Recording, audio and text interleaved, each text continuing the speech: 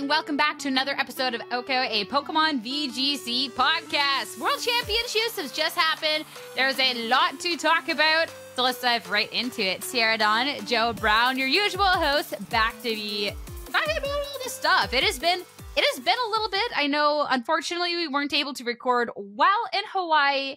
I'm so sorry about that. It kind of once you're in Hawaii, I don't know if you feel the same here, but everything kind of hit you really fast. Like it was non-stop stuff happening between like rehearsals and prepping and the actual broadcast. Yeah, it was right. And also to everybody, I I still have not recovered my voice from casting the World Championship, so I apologize if I sound a little raspy this episode, but uh, it doesn't hurt to talk, so don't worry. Um, but uh, I I agree with you that it was kind of difficult to find a spot that we could like record for an hour and a half that wouldn't be interrupted by people walking through or people talking loudly in the background and stuff. We had some ideas, but the day uh, you blink, you start your day at seven a.m. and you blink, and it was already like nine o'clock at night. you know what I mean? So just there was a lot going on in Hawaii.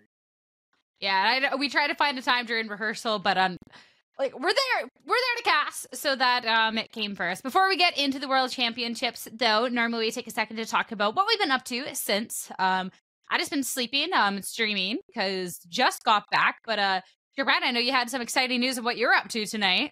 Yeah, it turns out Luca's not the only world champion we'll be talking about tonight on OHKO because I just came back from my One Piece local tournament, my first one since like the beginning of July because I've been gone for a month essentially, and I won the local. I went five and zero. My first time I've ever won a local. I've top cut uh, a couple locals before, but my first ever victory, and uh, it was I was very nervous going to the last round. I went on to I went on the stream in the last round that the the store holds for every event, and uh, mm. had some friends watching in the chat room me on, and I could feel it. Came home with the dub. I like how you just compared yourself to Luca or world champion. yeah, like because I won a like twenty-five player local when he won worlds.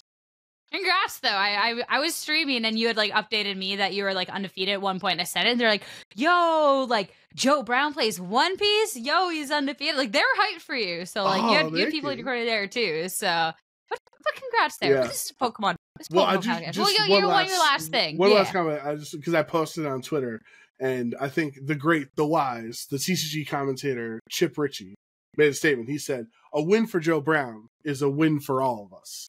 So. I think I think Chip Chip makes a lot of salient points there with that statement. I I don't even know what to say to that. I, I, I trust I trust in Chip Ritchie, but it just seems like a little bit of self blazing at this point of like, yo, Chip said I'm the greatest, and like, you know, he's so right. I mean, you know, it's his job to analyze card games for a living, so you know, I'll take his word for it. All right, all right, but congrats on that. But uh, the World Championships, we weren't too concerned about the card games because we were all in on the VGC. I mean, my my first impression of Hawaii is it actually seems incredibly insane that it's done already. I don't. It seemed like it took forever to Worlds to get there, and then a second it started happening, like it's all, it's all done.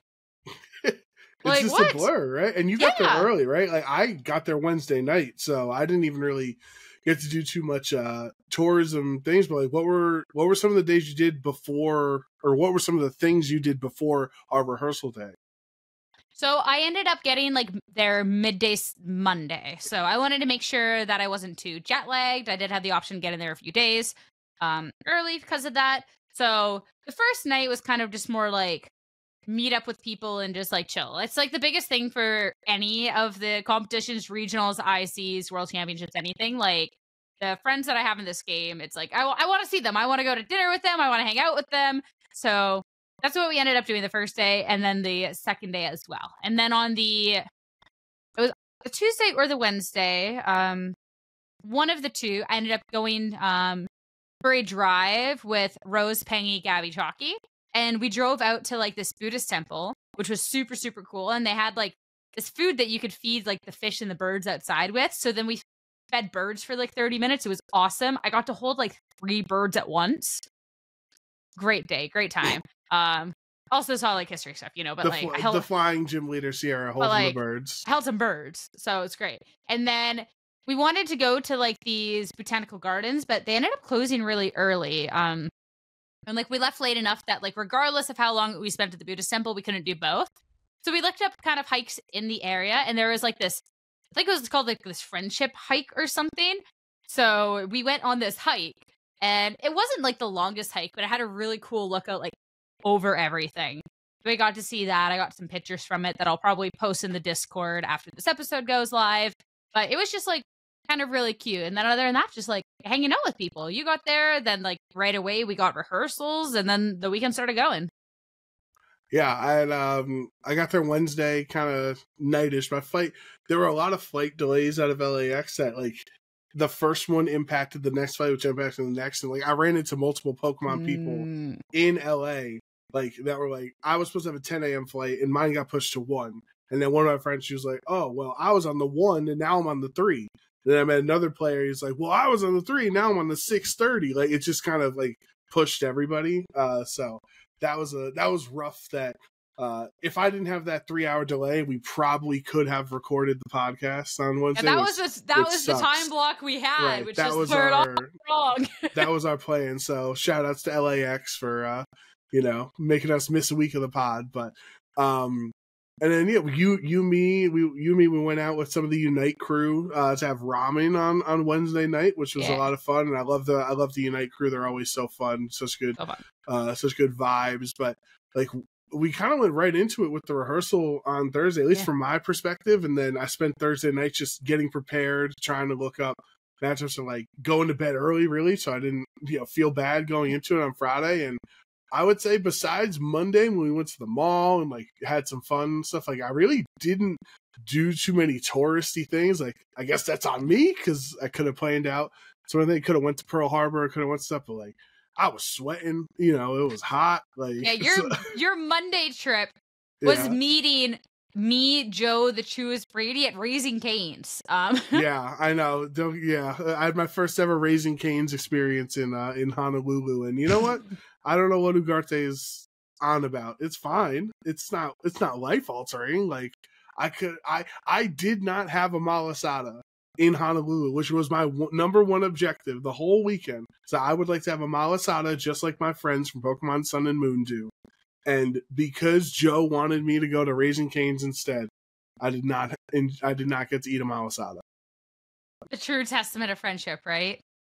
I, I would say You- so. You you could you could have ditched because like we did invite you to go to the escape room beforehand with us because we had a group go to the escape room. You did ditch on that, so Well, I didn't ditch if I wasn't like- a part. Hold, hold on, hold on. I didn't ditch if I wasn't a part of the original escape room plan. That's not ditching. You just we like invited people along the way. You're good. No, no, no. Well, first of all, I don't like escape rooms. They make me feel dumb, and I don't like feeling dumb because I never figure out the puzzles. So I just sit there with my hands in a book, thinking like, "Oh, does this code matter?" You know, whatever.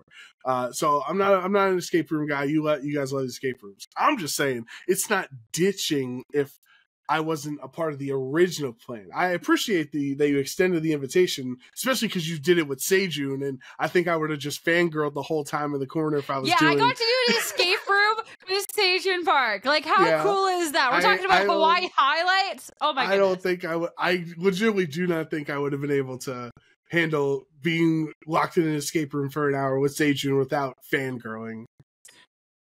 He solved the final puzzle too. He, he Oh, clutched, nice. he clutched up at the very end as we all stood there dumbfounded. So like, yeah, like a kudos there. No, that was a that was a cool moment. I got to. I won't fangirl too much because I did that on broadcast multiple times since I got to cast this game.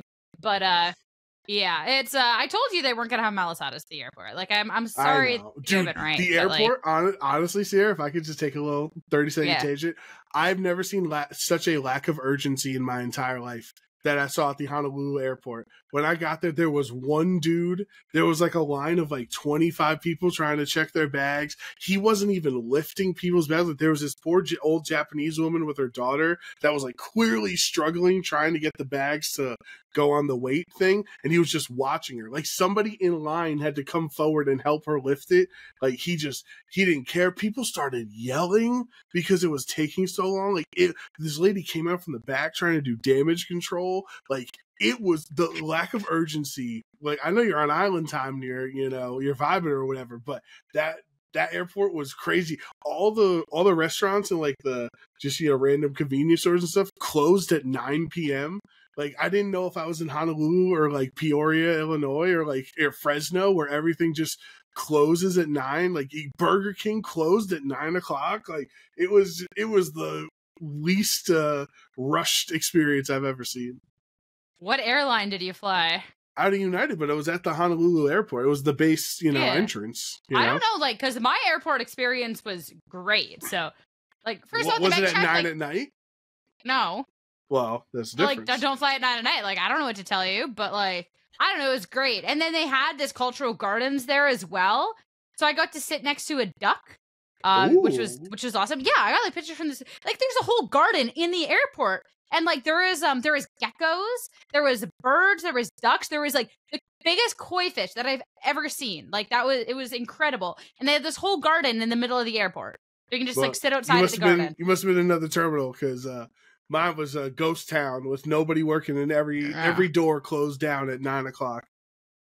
All right. Well, we should make a podcast sometime talking about horror travel experiences. but we actually got a world championships that we got to be t- talking about. So going into this, um, neither of us got to cast last year's world championships, though we did get to be there. So how is it then for you actually being able to work the event? Because it is a very, very like I mean, I guess you did work last year, but like being able to be like on the stage because it's very different experience depending on what you get to do at the world championships.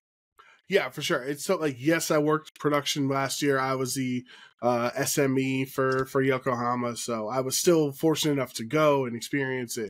Uh, but it is totally different than being on that stage. Everybody's watching you. Your job is to tell the story of that match. It's a whole different world than working uh, production, and uh, it's hard. It's hard to put into words because like this is a position that not only so many people at home value and want themselves to be in, but also your peers also want to be in the position that you are, right? So you have to like appreciate that we were one of the six and a half because you know Scott was only doing like one game a day. So or Scott, uh, yeah, that was planned beforehand, was planned. guys. Just so you job, guys don't yes. think like yeah, Scott yeah, was like a sift out. Like that was wanted, that was the deal going into it. They wanted to, I was like this floater in the ra- in the lounge and maybe cost like one match a day or whatever. That was the plan. Yeah. So it's a really important position to be in that your your people, your viewers and your peers also kind of wish they were in. Because I'll be honest, I was jealous last year that I wasn't working Worlds. I'm not going to sit here and say, "Oh, no big deal. Uh, we'll get them next year." Like, no, I was bummed out. So I imagine that's how other people feel. So I really am fortunate and really happy that you and I were able to uh, be back. And honestly, I had fun our match we did together. Uh, but my, you know, my main partner Gabby, I think her and I like crushed it all weekend. Honestly, I'm very proud of, uh, especially because the lack of prep we were able to do, which is my fault since I was at the Olympics. Uh, with our lack, considering our lack lack of prep, I'm very proud of how Gabby and I did all weekend. You should be. I think like everyone involved should be. I feel like like the level overall, the work we've been putting in, and kind of like the level of accountability everyone's been holding each other to, like coming out of the weekend, like there's always stuff that it's like, man, this could have been better. I, I could have said this better. I could have casted this better. But that's such a normal part of casting. If you come out of something thinking it was absolutely perfect, you're probably delusional, honestly. But you can be proud of the work that you put in, and like across the board, I'm proud of everyone because I think um everyone worked really hard to have a good show, and I think that really did get to show during the weekend. Yeah, I honestly like from the start on Friday with the uh like with the opening round, like with Shohei's match, and then like even with flexing around, like we didn't we didn't really get into our pairs until Saturday, but like Friday, I think this this day one of worlds might have been even more fun. I don't know your thoughts on comparing it to London, but like I feel like this day one was really fun compared to compared to London, where London was still great, but like I thought just the vibes and the energy of like all the best players weren't just watching the stream, right? Like all the best players that had day two buys in London were were actively mm-hmm. playing on day one. So we got access to so many more matches we would not have had if we were under the old system. It was definitely changed how we approached matchups, which it was really cool that we got to see obviously like day one with the day one buys is still impactful, but being able to be like, okay, well, right off the bat, here's let's pull last year world champion or all this, I think was really, really cool. I think for me, comparing it to London, my biggest thing is like the level of, and I don't know if you could share this, but the level of confidence going into it as well. Because London, Um, both of us were decently fresh to being picked up by Pokemon. Um, I know that you had like more casting experience than I did. Um, but then we both joined in for the official ranks for Players Cup, and then there wasn't too many IRL events before all of a sudden NASC and then all of a sudden Worlds. So it was a really cool World Championships to be a part of, and like the hey, this is our first World Championships. But I feel for myself, I was still so green to it that I was more nervous than anything. Like I I was excited to be there. I was so honored to be there, but I was nervous. Whereas this year, anytime somebody asks me if I was nervous, it's like, oh heck no, I'm casting the world championships. Like I've worked my butt off to be here. Like I we have such a talented crew and to be picked for this opportunity, like I am only happy about it. And I'm gonna go up there on that stage and I'm gonna bring all that excited, like heck yeah, I'm here type of energy. And I think because of that, like even the day one when we're rotating stuff out, like I I can get stressed and like we're rotating partners, but I wasn't stressed. I'm like, you know, I've worked with all these people. I feel great casting with any of these people. This rocks. We get into our partners day two. Me and Leah put in this work. This rocks. And like championship Sunday, like it was just every single part of it was great. And I think that really makes a big difference. Like everyone on the team, like for VG, like we all get along so well and being there just like casting with your friends for a game that you love and like that you've worked so hard for. Like I don't know, every part of it was just like fantastic in comparison to like what London was, even though London will always have like a special place in my heart. Yeah, I think the the casting with French part is is really important because like as I was casting with Gabby, I think it was like at one point hit me on Saturday that like like I've known Gabby for I think eight years at this point. You know, we've been working through grassroots and official events for I want to say it's either seven or eight years. I can't remember counting off the top of my head. So like that's a lot of history, right? I'm 31 yeah. year I'm 31 years old. That's like close to it's not a third of my life but it's close to it you know the longer we yeah. know each other the more percentage of our life will you know be connected but like it was kind of cool that i also wasn't like stress worried because i was also happy to be there um knowing that like we kind of deserve to be there you know what i mean the amount of work that we put in on the grind uh on commentary trying to improve and trying to entertain the audience like it wasn't like it wasn't the way that London was like trying to prove my worth to show Pikachu that I just that I deserved a chance to be on the world stage. Like I felt like I just straight up deserved to be there off of you know the the work that we have put in. And also i will technically say i did join the team in collinsville before covid so sorry we didn't, we didn't both join in the players cup. We want to be technical uh, i don't know but, anything that happened vgn before players cup i, know, I was just, a tcg person that's foreign stuff to me no, I know no, my world champions, to, and that's. I'm just yeah, trying no. to be technical out there for you're, the you're audience. Fact checking, yeah, yeah, I'm fact checking. Um, but I one of the things that Gabby and I were very you know honed in on like this weekend. Like I talked to her, I was like, "Listen, Gabs," because I call her Gabsma from Guzma. It's an old story. Don't worry about it. Um, so I call. I was like, "Listen, Gabsma." Uh, I didn't actually say it to her, but in text I say I don't say it out loud. Anyway, let me get the story out. I was like, "Our job is to make sure that the audience every three games thinks that they're watching the best game every three games that the like the other casters are jealous that they're not casting all around that we're casting round three instead of round one and then we're on this like that was my perspective going it was like we want to make it so that everybody has as positive of a time as possible every three rounds because I can't control what's going on in Lou, in Lou and Rose's match or Sierra and Lee's match, but we can control our energy, we can control our entertainment and our you know communication, and I think it worked out. That's always like because looking back at it, like I definitely wanted to make sure that the energy going into it that you could properly explain the stakes and deliver on them, right? So looking at the later two like the later day two matches um because me and lee actually got to cast luca's top eight and top four. And i think that we did i haven't gone back and reviewed yet but coming off of that i feel like we did a really good job kind of like hero building through the story for which one was going to be taking it down. Like we're looking at like the leads kind of stating the importance before going into it. Like you know somebody can win off of these leads right here right now. It's like who wants to go for like this big play who wants to go for that kind of hyping up like the different moves and stuff. And in a way that when the players did switch things up, that it was super, super rewarding. And really got to like deliver on that hype. And I think it was just like, man, like, like I, I don't know about y'all, but like me and Lee got some absolutely amazing matches. Like oh, it was yeah. just we got some bangers. yeah, like it was just across the board. We had such good matches that it wasn't hard to go into a match being like, I want to make sure to li- deliver on energy level because it was so hype. How could you not? Right? Right. Like the players were matching it. Yeah. yeah, or like even just like the drama of the situation. Like this was such a heartbreaking moment, but at the same time, like this is VGC, but in the senior finals, um, game turn one of game three, Draco Meteor miss.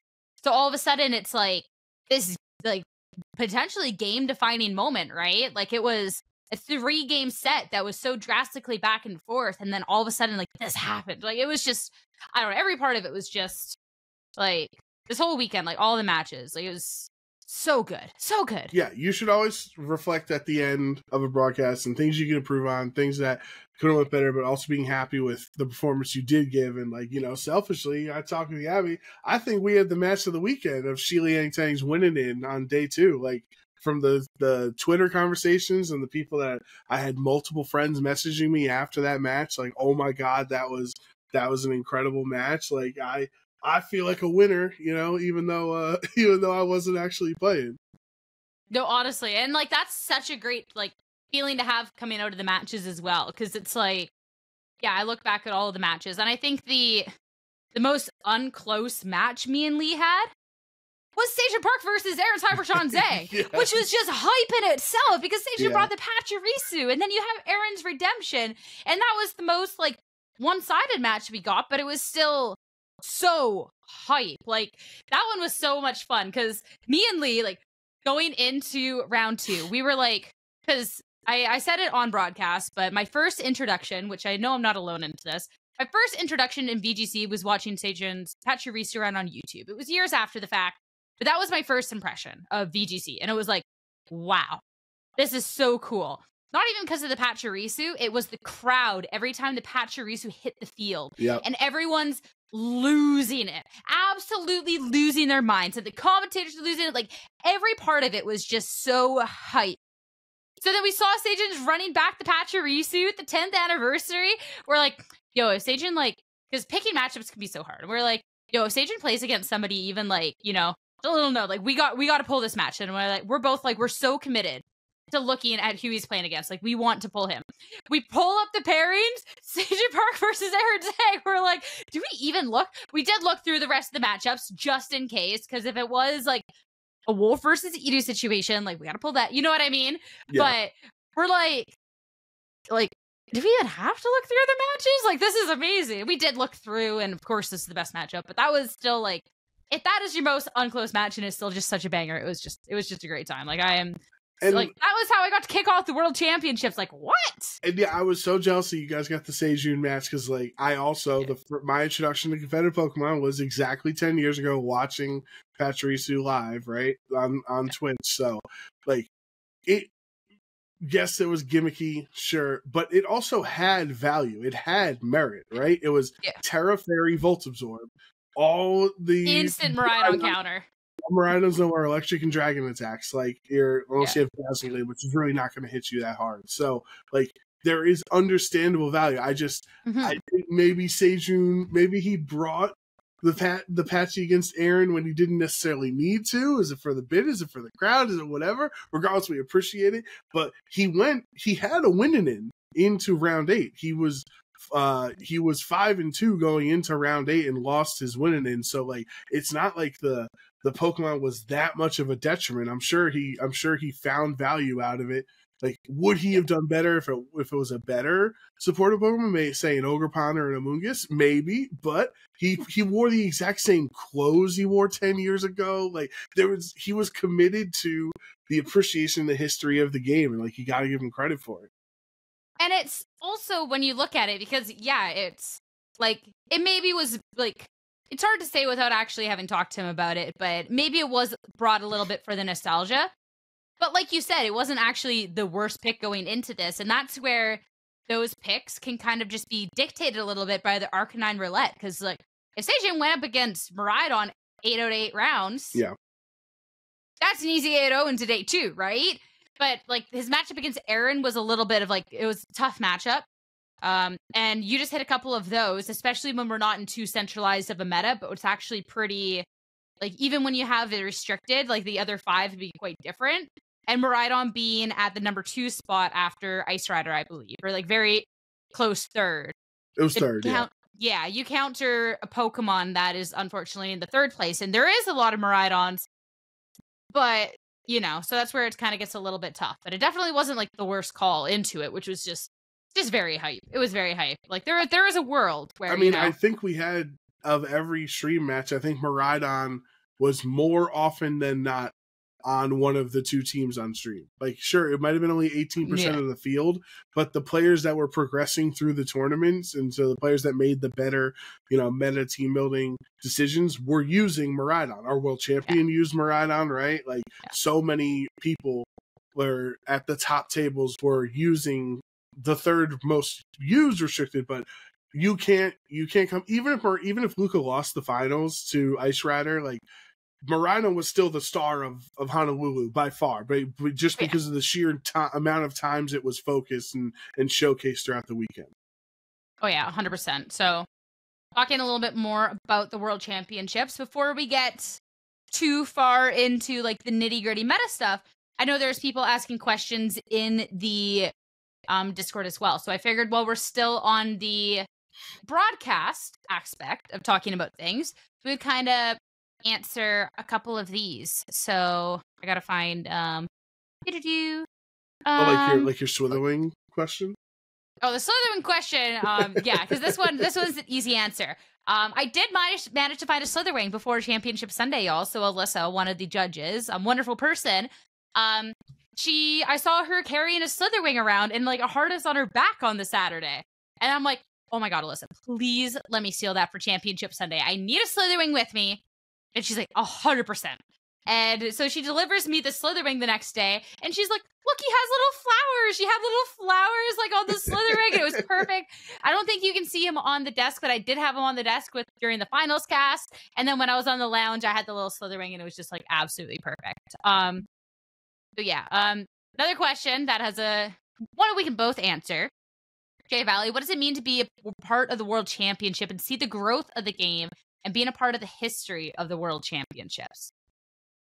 That's a heavy question. There's a lot of different directions you can uh you can go with it. So it's a good question from Jay Valley. I think I this position in particular of uh, VGC or Pokemon broadcaster head, the importance has never been lost on me because I understand when I first started and when I was watching and the inspiration I had. Like I always say, I went to Boston, the Boston World Championships and I met Shady Penguin and I met Jay Witz and I met Puka and I met you know all these you know great people um and watching the Machampion moment in seniors and then watching the finals and seeing the crowd and hearing the casters and you know how great everyone was that was my inspiration. I was like i want to be on that stage. That was my moment that like the slip before i was just a player for a year and a half i was just playing the game watching streams and enjoying competitive VGC but that that see the end of uh, 2015 onward was when i made the switch to trying to become a full-time caster because i wanted to have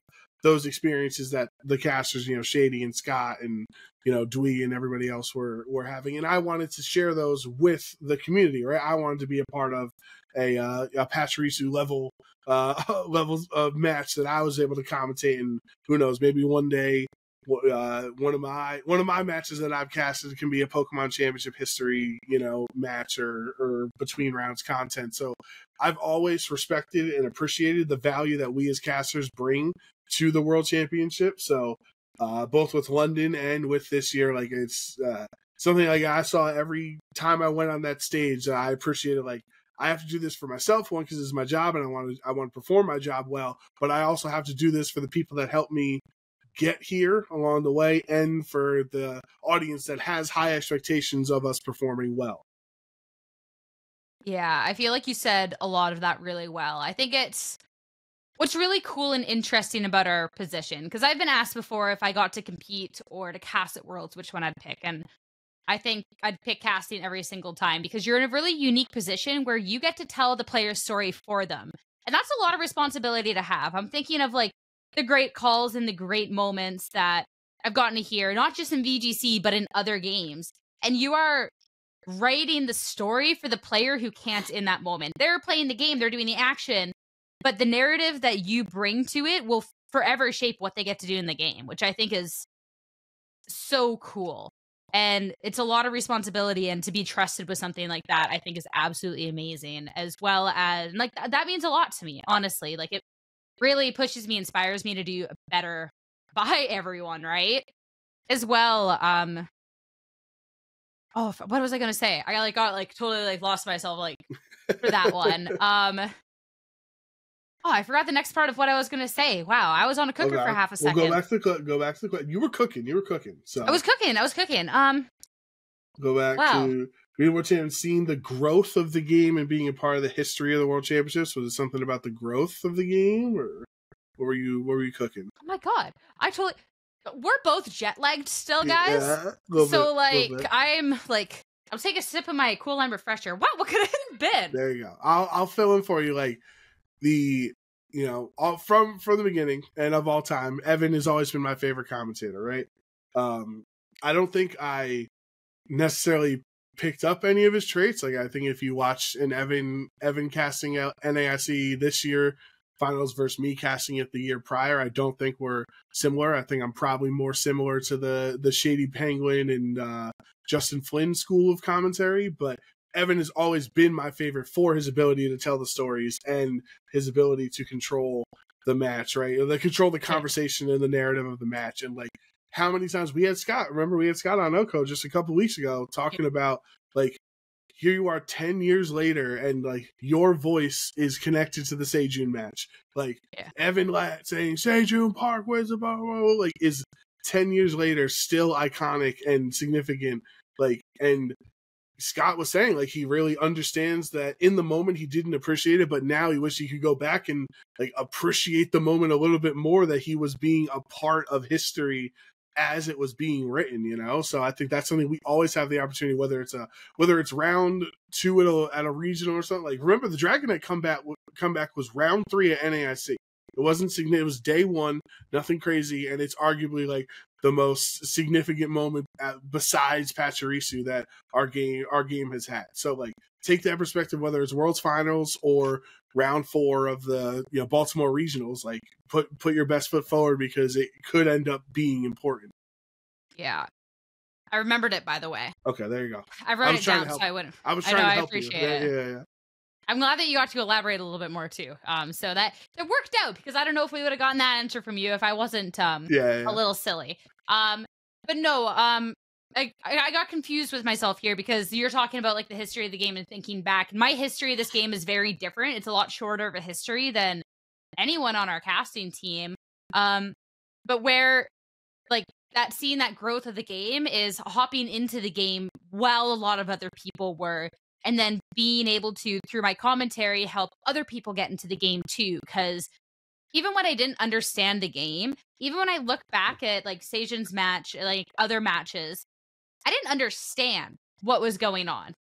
But it was the commentary and the hype and like how passionate others were about telling me about this moment that made me excited for that and that's something that i always want to do with my own commentary is that like even if you do not understand VGC, I want to tell you what's important and why and help you understand. And I think like I, there was even some comments over a couple matches that I got of yeah, like I don't know what's going on, but like Sierra has me like cooked right now. Like I I don't really know. And like that is like the highest compliment because that's what I want. I want to tell you that like this is this is crazy right now. This is crazy and I want to deliver on that hype and like you to understand so that anyone whether they're a seasoned player, brand new to the game, TCG player that just happens to be watching and it's like, you know what?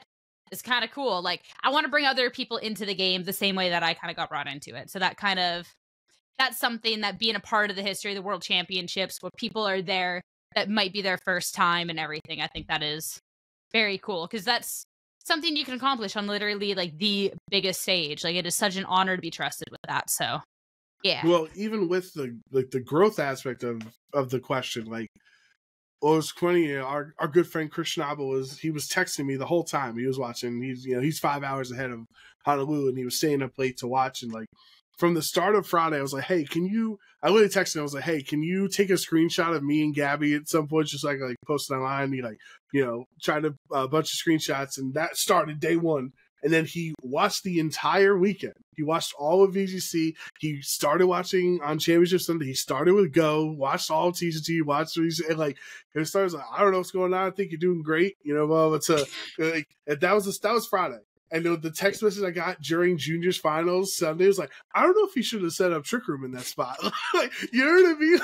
like, just the amount of growth that he uh, uh, had gotten from as a as a viewer from start of Friday to Sunday from watching the whole stream was like, all right, we're doing a good job, right? We're explaining these basic interactions and mechanics to the layman person there. And then what was really cool is one of my other uh, one of my fraternity brothers actually texted me and because he saw I posted, you know, the, uh, that I was working, they all know I do Pokemon and stuff, and he was like, "Bro, 86,000 people were watching you as you did that match. Like, I'm so proud of you, blah, blah, blah. And I never look at the, you know, the view count, you know what I mean? Like, we're on the broadcast, like, we're, I don't really have my phone out or anything. And, like, not only is that cool, like, I didn't know that many people were watching, but, like, back, we're talking about the growth. We used to be at Worlds 10,000, 12,000, 18,000 people watching Masters finals, right? Like, and so for, for, for Championship Sunday to be up near like 80, 86,000 people uh, watching uh, just on, you know, one form. I don't know if it was Twitch or YouTube what he was watching on, but like, that's, that's really cool that that many people get to get to see us do this. I didn't realize like that many people were watching, honestly. Like, that is like I remember being nervous for like broadcasts with significantly less people. And the thing that we were like casting in front of that many people is just I get I more excited it's when nice. there's more people because it seems not that it's more worth it, right? Because every every event is is worth it. You got to put your best foot yeah. forward, but it's like it's a bigger it's a bigger deal. Like I used to get hyped when we would have Liberty Garden uh, locals that would get rated. Like I remember once we had a local because we were the first people uh, with VGC 2016. We were the first ever event in like January 2nd or whatever in Brooklyn, and some Japanese stream rated us with over 2,000 people. And I, I was like, everyone was, oh my god, this is so crazy. But I was like, lock in, like that's cool. We have two. Th- usually we got 200 people watching this. We got 2,000 watching this. Let's convert some people to you know normal view. Like so, when the the numbers get higher, like I I get more excited for. It. I I used to be nervous, but like now it's now it's not. I think like it goes back to like I know I've like worked for it and like there's always more you can do, but I don't feel too nervous. Though I am like ugh, I did mess up one mechanic pretty bad. Oh um, no. Did you not see that? A do you see my do you see do you see my well, So for everyone listening, there is no audio backstage. So when you're not casting, we oh. have no idea oh. what the other casters are saying. Oh. My god, this one, oh, it was so bad. And like the others that like did listen in, they were like, okay, like it wasn't as bad as you think it was, but I dare not like go back and watch that match. And apparently it must not be as bad as I thought it was because I haven't seen a single YouTube comment yet like calling me out for being dumb, right? And like people love to people like love to yeah people, like if you stand up, in line to do that you know? yeah like people are very quick to tell you you've messed up but um i tweeted out just like dondozo i am unaware with a picture of me just oh. looking oh. like backstage. Oh, was this the Draco still doing full damage after yes. the drops? Which yeah. is also the silliest. Like, yeah. It's not even like co. So, like, mind, people, like, there's a million things going on in the game, and you're so focused on casting. And before we get into a game, especially if there's certain mechanics or anything, I always refresh my memory. I will like any ability that I'm like not 100% certain on, like that I'm willing to call out in front of 86,000 people. I double check. Going into that match, that was not the match that me and Lee were originally going to do. That was our first top eight match. We were originally going to have the um the um, Michael DeRest match, mm-hmm. but then that one ended up taking longer. So then we did our the other top eight match, which was uh Luca's match. So because it pivoted right before we went live, I didn't get a chance to do my little refresher. And I always mix up unaware and oblivious. And so I was already in my head. I'm already in my head. I'm like, oh man, I hate I hate these two abilities. I hate Dondozo. At my very first Scarlet and Violet event, I messed up unaware in a really bad way. That actually still haunts me. That was like tragic. Um and then I, for some reason, had like gaslit myself into thinking that unaware only ignored positive changes, not negative ones. Which is then where I said that you know we're gonna do less, and then Lee corrected me, and I'm like, I'm gonna die. I'm actually gonna die right here, right now on the stage. I am Rest done. I am cooked. It's over. I could not believe for as much work as I put in playing this game and studying, because you know that like I, I do work my butt off. And I was like, to mess up at my very first event for stupid unaware Dondozo, and then to do it again at the World Championships. Are you kidding me? Are you absolutely kidding me? That's So yeah, I was that's the dozo bozo for you. yeah, I was mortified. I normally like to go back in Twitch comments too. I couldn't bear to do that for that match. Absolutely not. I was like, you know what? I know I screwed up. I, I, I do not. And like Lee and like the others were telling me it wasn't that bad, but I was just like, oh my god, I feel bad. Like I am mortified still. I cannot believe that. Like I will never make that mistake again. But I'm still. I mean, I guess I said that after Orlando. So like, I don't know, but I don't know, man. I don't it's know. just always uh whenever Dondozo's relevant, it's always it's gonna you know. and it's even more on you. relevant to the new Oh format. my god, tell me about it. man so yeah that was um that was the one um that was the lo- one low of the weekend. So this one wasn't asked as a question but i'll ask you too if you had a low of the weekend. Ooh, since um i'm ta- chatting about Since- mine. So yeah, yeah, that was an easy low. here. that was an easy low for me. I like i sat in the green room after that and lee kept trying to like come up to me it's okay it's okay and i'm like no i'm so upset. No i'm so upset. I can't do believe i just did that. Like I, it was like a solid like 20 minutes of like being in my head and just being like oh my god i'm gonna die before like i finally like got over it but Wow, I'm trying to think of my low of the week. I'm trying like I don't think I got mechanics or interactions wrong. I know I messed up one of the games. I messed up my sentence the way I wanted to present the information. There was a choice specs Chi-Yu that Scarf Urshifu was faster than, and what I was trying to say was that like, oh, this is in danger. One, because you can't. One, you can't protect anyway in front of Urshifu, and the Shifu's faster than it, so it's like it's doubly in trouble. But like, I kind of said like, I, I forget. I said something like, "Oh, the Chi-Yu can't uh protect because the Urshifu scarf is like, well, it's holding choice specs anyway, so obviously it can't protect." Blah, blah, blah. So like, I messed up that, and then um, uh, I like my other low. Like, could it just be a consistent low of like the amount of sweat the whole time? Like, Yeah. could that count as a your low? low is your low right because so for anyone who doesn't know sometimes commentary and, and commentators in general they like to stand while doing commentary i've never been this type of guy but it helps your diaphragm or yada yada yada all the pros and cons i don't know i hear it all the time from the other casters so i guess at worlds we all just decided we're going to stand and so when you're standing it takes more effort and you're also closer to the lights up top so every time we were sitting in the chairs, I was cool as cucumber. I was just used to normal, you know, commentary. But when we're standing for 47 minutes straight, and I'm right next to the the the lights, and I was sweating like crazy. Every single I was like texting the Discord, like asking like our production team, like please, like you know, sweat rag, like f- uh, fan, just like anything to to help me. And like I would always like sit there after my cast was done and just like vigorously wipe off my headset because I felt bad for whatever caster had to go had to use that headset next. So, whoever was next yeah, I was I was sweating a lot. it's it does get hot you also didn't need to stand like i i'm personally a Well, standard but then like you'd look dumb if I'm sitting and you're standing. I, we Aw. need solidarity.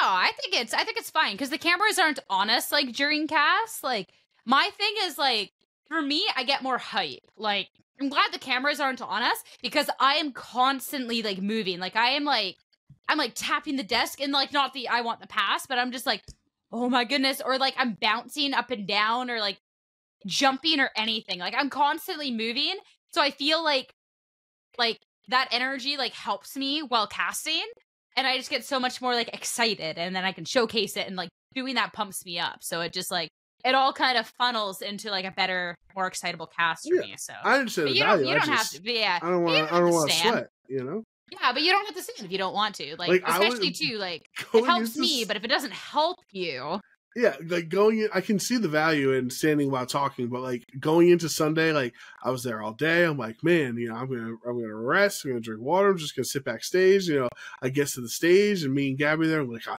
am feeling good. I haven't sweat all day. Like, you know, I'm in the spot. We come in from the break and I'm doing all you know all our normal shenanigans. I'm like, oh, all right. My my profusely sweating days are behind us. Like I'm ready. This is junior finals, baby. And then we stand up and like of course the game one was 18 and a half minutes long and i'm just all over and i was like i, I got a little cocky i got a little cocky and then I, uh, I started had to had to text our uh, production team for for help. I thought I could make it through junior finals without being a sweaty mess. Turns out not the case. I said you got to do what's best for you. Like I, like I I wouldn't I would always stand even if my co-cast are sitting, but I never like why you said it. You know what I mean? Yeah. But I can definitely understand if one person is like the other might. But uh that was that was my question. But while we're talking about like the low lights and stuff, um Split had this question. Um what was your favorite moment of World? So I I want to do a two-parter here. I want to do like your favorite call that you made for the broadcast stuff as well just like your generic like overall favorite moment. Okay. Calls, I might have to go back on. I know I almost had the perfect call in top four when um uh what was I? Hold on, I have. We'll get I'm, to the results stuff in a bit, when, guys. We're just like nerding out about yeah, broadcast when stuff. I had, we'll get so, to the result. Gabby and I were on U- Yuta's match, right? And we already knew Luca was in the finals. And so yeah. in my head, like I was right there. I was like, I'm gonna set this up, I'm gonna be perfect. And I was like, it's Japan versus Italy, Yuta versus Luca. Like I and I wanted to say Miraidon versus Ice Rider tomorrow on Championship Sunday. I had this whole thing playing in my head all I said was Japan versus Italy. Like I messed up the whole thing, and that happens a lot on commentary. For those who don't know, who haven't done commentary, a lot of times if you try to pre-plan lines, they kind of get butchered in your head because you put so much weight behind it. So a lot of times it's better to have stuff come off the cuff. Um, the because it sounds more natural because it literally is more natural. You're not trying to pre pre-plan it. I think my best call of the weekend was during Shi Liang Tang's winning in match with his Ogerpon teal mask and I said I can't remember the exact way I ended it, but I was like, from Kitakami to Honolulu, Ogerpon says blah blah blah. And I thought that was a great call to the DLC. If a great call to specifically Teal Mask because that's the one shown in the storyline of the Kitakami DLC. Like, so I think that was probably my my favorite reference I made all weekend. That's a good one. I uh see. I am very much so like a line prepper. Um, whether I use them or not, I don't know. But like, you know this for like LAIC, yeah. I had a line like planned out whether it was Marco or Tiago winning because it was like I want to yeah. get like the history of the moment too. Like I don't know, I I I popped off with the LAIC once. Both of those were so well. I was I was proud of that, but I definitely get like the natural part of it. Um, and then do you have like a favorite like generic like worlds moment or not call related? Ooh, um, I don't know because honestly, I really didn't go outside I didn't go out into the venue too often. I did like the only time I went out, I was watching Paul Chua and Edu's match on um on day one.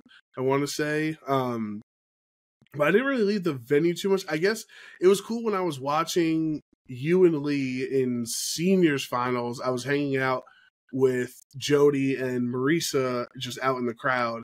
Uh, and as like I could not play Pokemon Go all weekend. Backstage, it was a nightmare. The, G- the GPS was garbage. Like I kept thinking I was in New Orleans when I wasn't even in New Orleans in June. So I don't know why I thought I was there. No, that you're not August, the only one. Don't right? worry. Um, so I was very frustrated because I love playing Go at Worlds and doing the raids and stuff. So I finally, seniors finals, I finally get to work in that exact one spot where Jody and Marisa are, and I do one raid the whole weekend, and it was a shiny Cresselia. So I guess hey, that was my that's my high of the weekend. That's not uh, casting related. That's a good one. That's a good one. Um, for high, like overall, like I really just enjoyed this world. Like I, I cannot understate how amazing it is to like be at a world championships casting, like and working with your friends, right? Like it's there's no stress backstage. It's only love, it's only support, and that was awesome. Um, so watching the closing ceremonies, it was me, Gabby, um, Rose, and Lou on the stage. Um, watching like the closing stuff. And I always get like emotional at the end of this like sort of stuff. Like always. So um they were doing like the world's like closeout video with the song, banger song by the way. I was like tearing up. I'm like, I'm on this like I'm on the world's like the casting desk stage with like with my girls because it was also just really, really cool that there was like four women casting the world championships and like for Pokemon, it never feels like a diversity thing. It feels like a we all earned this. So it was really cool to just be like, wow, like the four of us are sitting here watching this together after kicking butt all weekend. Like, let's go. Like that was just a really, really cool moment. Um so there was that. Um there was also um wow, my memory is just like completely like this this what was your favorite um, call that you had? no, there was another. Oh, watching the um not the the call, but um another cool moment was like watching the drone show out by the water when we all um went and got the Mhm. food. Um, um, me and Gabby just like sat like on the dock, like just like watching the show, and it was just like very cool. When I, you Um, mean when you were uh, offering me food and I thought you were taking garbage, so I threw my garbage onto your plate? So, so I um, I. I normally don't eat like, for especially like the. Hawaii. Like I like pineapple, all right, but everyone else likes pineapple way more than I do. I so love whenever pineapple. So whenever I had a pineapple slice with anything, I offered it to somebody else. Joe Brown's sitting there eating an acai bowl out of pineapple. It was and awesome. I off- so he was the last one that I offered my slice of pineapple to. So I'm just like showing my plate around to who wants the pineapple. And then I show it to Joe Brown as he's like finished his food. So he takes his acai bowl and just puts it on my plate. Like I'm taking his garbage. She's taking And I just, garbage to the table. I just like sat there and everyone's laughing at him and like Brown has no clue what's going on because this is why he thinks he's taking his garbage. and like, yeah, it was Oh, so that was that was also pretty funny. But like, you know, like, stuff stuff like that. we all went out like it was just like cool, right? So yeah. Um, favorite call. Um, two of them. So first one isn't necessarily a favorite call. More so, it was just kind of like um, I'm proud of like my knowledge of a po- as a Pokemon player. Um, because you know more than anyone that it's there's a lot of pressure on you to be delivering like the proper analysis in the games and stuff can get missed so easily. Yep. You're up there casting in front of people, you're trying to deliver all these words and the stories and it's so much easier um to be sitting at home spectating and knowing what's going on. And goes for the players. You've seen players like throw before because it's so much easier when you're not in that moment. Um so sometimes things get missed and sometimes it reflects poorly. But there was one match that me and Lee were doing where the Amoonguss ended up getting T waved. And we were kind of setting up the scenario hey, if the Amoonguss gets paralyzed on a turn and goes for Rage Powder, um, they can actually double into the other slot and it's cooked. So we set it up, and next turn, as we're in Trick Room, by the way, um, the Amoonguss gets paralyzed. So then all of a sudden we're freaking out, freaking out.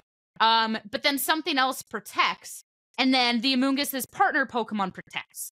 And then instantly I cut in and I was like, all right, it's actually all good. It wasn't a rage powder, it was an attempt at a double protect, and it went into the other slot. So this is like a no harm, no foul type of turn, but a little bit of precursor of what's to come. So now you might have to be a little on edge because you know that this is a scenario.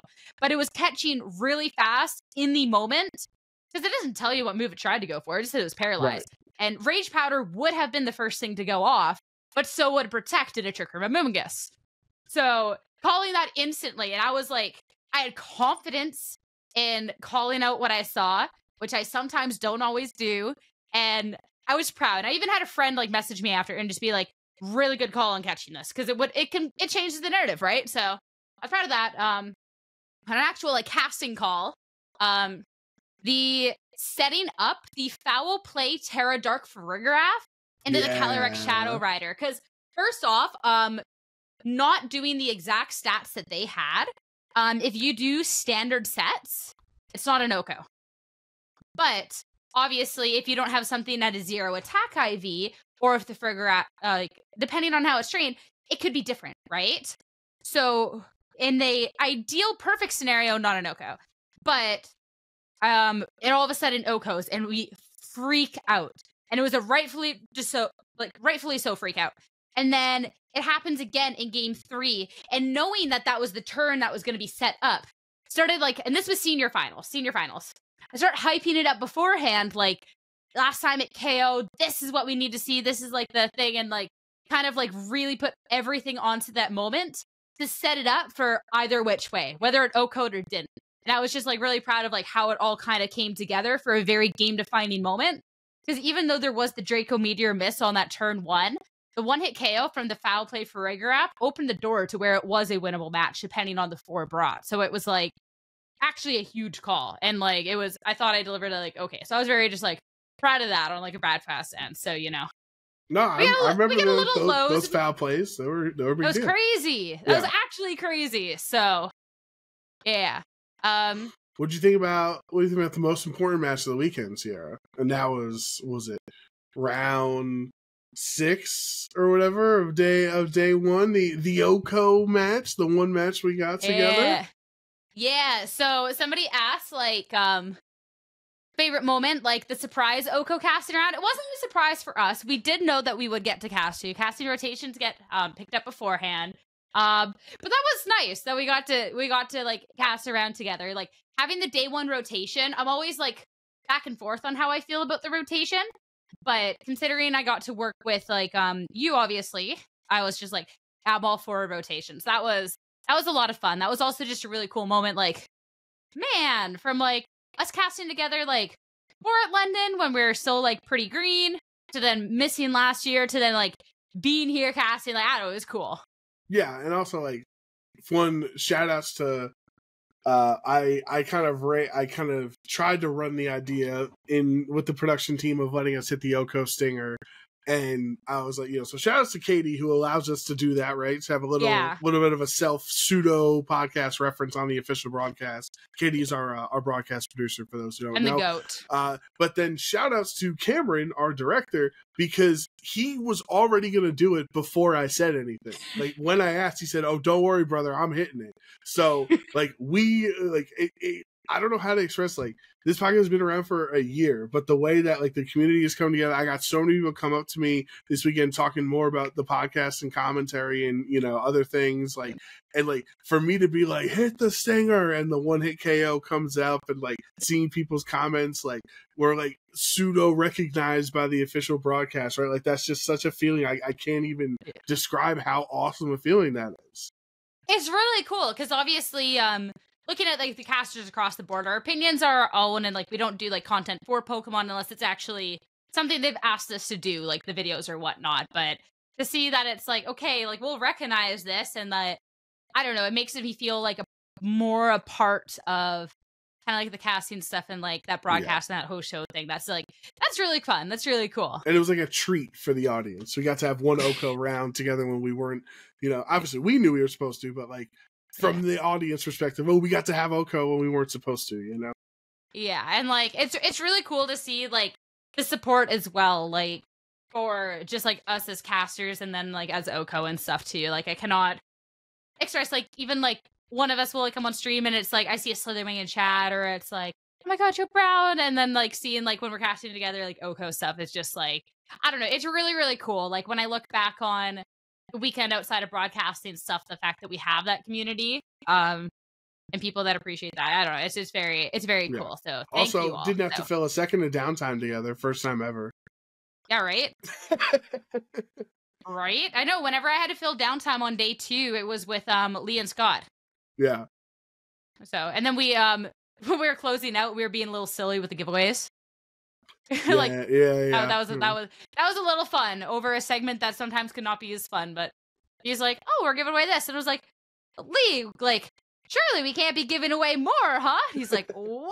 like it was just, it was goofy, it was fun, but overall, um, great, great time. But um, I think too, we got to talk about the results and all sure. the VG, the good stuff about it. Um, because like we knew that going into this event with Regulation G and just like what people would be able to build upon going to this event would work out. But it was really fun to see how exactly it did build out. And like there was a lot of signs of what was kind of to come. I mean, obviously, like the top three, the Miraidon and the Callies were super, super strong, but how people decided to build around those, like Hearthflame had a decently sized like resurgence at the event. Instant kind of falling down to only 25%. Like it was I know it was quite interesting to see what people are up to. Iron Valiant, in the in the finals. Uh, yeah, like Iron Valiant was almost world champion. Yeah, it was almost a world champion. yeah. I think It's crazy. uh, what was fun. I'm happy I had uh, Ogerpon Hearthflame on my predictions because I had seen one of the prior Victory Road, you know, Road to Honolulu tournaments or or whatever in uh, July. It was when I was at the Olympics. It was actually the day when I went on the uh, the Tub Takes podcast. They were talking about the the tour, the Victory Road tour from the night before. I was like, oh, okay, I'll I'll look it up. And I saw, I was like, man, there's a lot of Hearthflame here. And then I saw Shohei actually use Hearthflame in that event. So I'm like, okay, Mm. there's there's something real going on. I tried to look at it and I'm like, I was like, well, the the best thing I can think of is that it resists fairy and resists Miraidon resists Miraidon's electric attacks as well as like fire Ogerpon giving it attack boosts. Like those plus one Ivy Cudgel crits hit harder than all the other Ivy Cudgel crits do. So I'm like, there's something people are, are doing. So I'm I'm happy I picked up on that in the the world the the lead up to preparation for Worlds, even when I had such a little time to prepare. But like, I mean, I I laid a fat egg, Sierra, with my legendary prediction because I pi- I predicted Kyogre to pop off, and we didn't even see it on stream once the whole weekend. Yeah, I mean, oh my goodness, I jump scared myself with opening a tab. what? I just-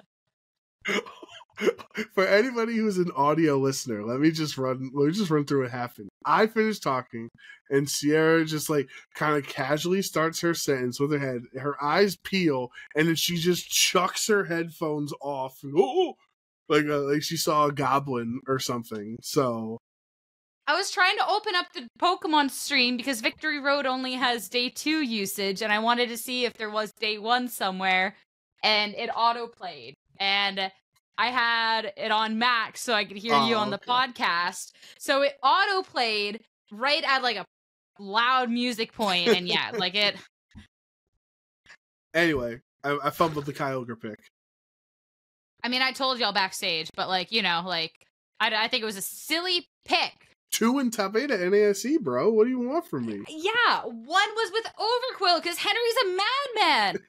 like, love Henry, but I'm like, I don't look at Kyogre and I'm like, yo, that's like a that's a that's a niche type of team that like you've just you're crazy. You're crazy. That isn't yo, Kyogre's the best. Like that is a that is a special type of thing. Same how like Wo Chien Kyogre actually did really well at like NAIC, also like Shillian Tang, but like Yeah. I'm not looking at and being like, Wo Chien's the go. Wo Chien's gonna win the world championships. It's like, no, it's a special type of thing. So that's how I felt about Kyogre. So seeing a bunch of people go for Kyogre, I was like, Yeah, You know what, you wanna Lou, be- and Rose all fumbled. Yeah. I was like, you guys want to be cute, you want to be you you want to be cute, you want to be quirky, like that's that's fine. You're wrong, but like that's fine. Um, but yeah, I mean the fact that it's like there's one at 14th, and that is it for Top Cut. That is it. So yeah, um, congrats, I guess. But um, Thanks, yeah, you did, you did pop off with the Hearthflame pick because I was confused when I saw the caster predictions because you were going on about corner like cornerstone Ogerpon all the time. Even when me, Scott, and Lee were doing like the Ogerpon like breakdown, I even called out like something about you and corner po- like cornerstone Well, because like, I didn't see think it. it would be. I, I don't remember what the top graphic was from an NAIC off the top of my head, but I didn't think it would be eligible because it was essentially every Ice Rider had, you know, for the most part, had Ogerpon Cornerstone. So I didn't even consider putting it on my predictions because Hearthflame is the one that, that rose in popularity. Like before, Yeah. you know what I mean. Cornerstone was already popular, so I didn't I didn't want to choose it as my you know as my sleeper pick. Uh, that's fair, but like, yeah, it was kind of cool. I think um, the only repeat Pokemon, if I'm looking at this correctly, um, between the two teams was the Urshifu. Other than that, the finals was two completely Yeah, unique teams, which a lot of appreciation for. And even just looking at the top cut in general, I mean, you have like a Dondozo Tatsu, you got a Torkoal Gallade and Didi, um, Guts Ursa, um, you've got an Entei from Michael Kelch, Yeah. like crazy. You have Regieleki in seventh. Like it was kind of kind of crazy where things were. And when you look down, like teams also making a splash over the weekend, like this Donzo Tatsu with Galarian Weezing. I think it was overall, as much as I don't enjoy playing this format as much, I think casting and watching it was a lot of fun. Yeah, there are also uh, 13 Urshifu in the top 16. So I like when you look down on, on, on Victory Road and you just keep scrolling and scrolling, and it's just the same Pokemon in the same slot. Um, but yeah, I think like Utah and, and, and Lucas teams are really interesting because uh, when you look at it by itself like you can be like okay well it's not very the team building is not it's not simplistic right like luca is like his his fire water grass is like Urshifu, but then Hearthflame, who's also a grass type, but then Whimsicott, who's also a grass type, yet doesn't have a grass attack, right? Um, so you're like, okay, well, where's the synergy here? That you have two supportive grasses in your fire water grass offensive core that you're like you're used to seeing, and then on Yuta's end, like your uh your your firewater grasses Urshifu, uh, Amoonguss, and then Pelipper yet again is another water type, but you don't actually have a uh, a fire type. Even Cali Ice doesn't turn into a fire type. So you're like, all right, well, Iron Valiant's crazy fast, uh, Urshifu's a very fast Pokemon. Landorus is Choice Scarf, which is makes it faster than like everything. But then this is a Trick Room, Cali Ice, Amoonguss, you know, Bulky Pelipper team at the at the same time. So like, I think like it just shows the the level that these world caliber players are on because like I definitely would not I love Trick Room. I would not have rolled up to Worlds with uh with you to six. Like I would not have come to that same conclusion of like the fastest choice scarf and super booster energy speed Iron Valiant on my Trick Room Ice Rider team. I I'll, we can talk a little bit more about Lucas' team in a minute, but since we're talking about Yuta's team, I want to know your opinions on this Iron Valiant because obviously if you make it to the second of the world championships like you're just a better player than me you know what like i'm not i'm not pretending to be like yo i'm smarter than our finalists but like looking at this iron valiant i don't vibe with it and when i was watching the finals I really wasn't vibing. I was sitting with some Pokemon Go players and like they're asking me questions about the game and I'm taking them through this. And I'm just like, you know what, guys? Um, I really just don't know what this is doing. Like I missed like the team sheet explanation and stuff. I hopped in halfway through game one. And maybe it did get to do something that I didn't really get to see. But what I got to see from game two and game three was spirit breaks into a fire like ogre yeah. that really didn't get to do much because it was only attacking move. And of course there's the follow me, but it's like I really didn't get to see the utility of it. Whether it's more so because it was a tough matchup or whatnot, I don't know. But I just I don't know. I wasn't I wasn't with it.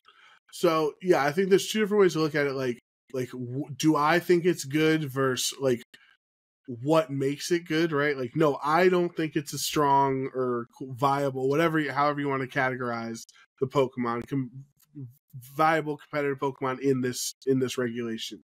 However, it is good in the same way that Sejun's Pachirisu as just a raw Miraidon counter is. Or like I was talking with Lee mm-hmm. all weekend, like nobody's running Assault Vest Tera Fairy Rhyperior because like if you run that against a Miraidon, they straight up cannot play the game. Like Dazzling Gleam does five damage, electric attacks do nothing, and Draco Meteor does nothing because you're a fairy type, right? Like yeah. so I'm like, if you run a tra- like a counter trick room team that is prepared for Miraidon, you can run Rhyperior, right? But nobody uses it because it's better Pokemon out there. So this Iron Valiant, I think, if I were to get, you know, talk to Yuta, I think it was just his anti Miraidon Pokemon of choice, which we saw all weekend. Sejun Pachirisu, so many other Tera Tera Grounds and Tera Fairies and uh, other things that we saw all weekend. So the since he does not have a uh, Miraidon, you have to have your own booster energy to activate your speed boost. Iron Valiant is incredibly fast. Um, is I think it's 116 or something like that. So it would speed tie with Whimsicott, but because you have the speed boost, you're gonna outspeed it when it's not uh, prankster based. And one of the big values that Iron Valiant gives you is non prankster encore, which sounds bad. You're like, no, but prankster goes first. But prankster encore is stopped by dark types. So on so you can encore Grimmsnarl into clicking light screen three turns in a row. You can encore a fit, you know, uh, uh, a, uh, Incineroar and that clicked fake out the prior turn, where the Whimsicott cannot because the Prankster is not able to work into dark types. So we've seen that before with uh, we call it like manual taunt or manual tailwind or manual encore, right? Because it's not using the Prankster uh, speed boost. And then th- maybe this team that Wow Yuta was testing had like a god awful Shadow Rider matchup because he has two wide guard Pokemon in both Pelipper and the Iron Valiant. The one question, like, I wonder how many times he clicked coaching all weekend, especially because the Iron Valiant uh, Cali Ice speed tiers are so drastically far apart that, like, really you could only coach or Shifu, who, eh, like, that's the only that's the only move that I wonder is I wish coaching like I'm sure it helped him get there for sure. But like if I was looking at the team, if you asked me, I probably would have swapped coaching with like close combat or something, or I don't know if it gets close combat, like another move uh, for the Iron Valiant slot. But I see the potential, and clearly it worked out for him. But like that, I still don't think it's a good Pokemon. You know yeah. what I mean? Like I think where I get caught up in for it as a oh it has wide guard and you know it's a natural fairy type. It matches well into Miraidon, but it's my favorite move to click on Miraidon is Volt Switch. You know, yeah. like being able to get that amount of damage and pivot out. Um, so many games open with that, and Iron Valiant is not a redirecting Pokemon. So, okay, well, the Miraidon wants to stay in and click Draco. It can do that into any other of the five Pokemon, and they would definitely not appreciate that hit. Then nothing resists, nothing is like they all will just take the hit. And if you're taking that from a Specs Miraidon, you're cooked anyways. So that's kind of where I'm not really vibing with it as much as when I see like Sejun's Pachirisu. It's like, is Pachirisu the best Pokemon in this format? Absolutely not. Is it a hard counter because, you know, it's the Volt Switch and the Tera Fairy? There's nothing that can be done? Yeah, plus with Follow Me. Whereas since this one doesn't have a redirection and you're not necessarily hitting for the most amount of damage, I just don't really, I don't know. Like, I. Oh, he also only re- has two protects, by the way. Protect on Which, um, Cali Ice like and crazy. detect on Urshifu. There was one game I casted where I think there's only one protect. I'm just like, what are these people doing out here? Like, it's crazy. Like, I, I wish I could have watched more of like Yuta's games to really kind of have a handle on this Iron Valiant because obviously important part of the piece that's being brought into this matchup. It was brought in, I believe, all three times for the Masters Finals. I didn't get to catch that game one, but there. So there is a utility here. Um, but as you said, like I feel like there's better coaching mons in the meta. You already have wide guard on the team.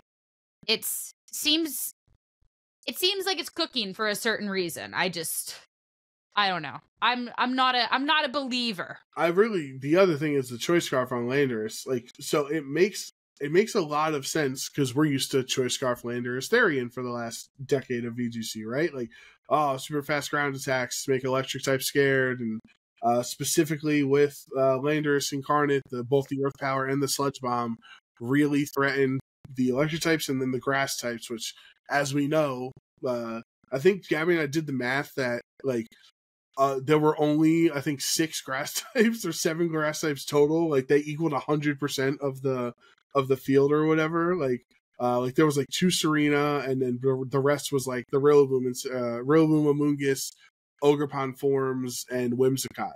So like the sludge bomb just does work into all those grass types. But usually Lando I needs that life out or that life orb boost from sheer force. So I'm so surprised that Yuta was able to pick up the KOs he needed with Sludge Bomb without the life orb boost because you're essentially losing an additional 30% damage on some of those bulky Rillabooms or even if it was a bulky Whimsicott or, or something like that.